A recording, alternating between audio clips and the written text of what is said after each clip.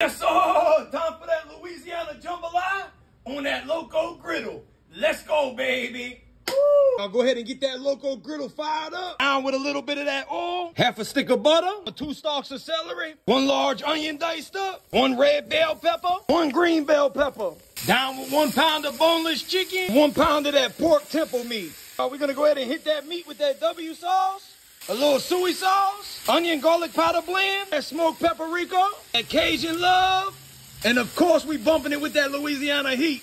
Same thing with our Trinity. Hit it with that W sauce, that soy sauce, that Cajun love, one pound of that smoked sausage. Treat that meat like a side chick. That white rice from out the ice box. Ooh. Let that rice heat up for a minute. Mixing in that Holy Trinity. Mix in all your meat. Oh my lord, look at here, look at here. Just look at that thing. You better try.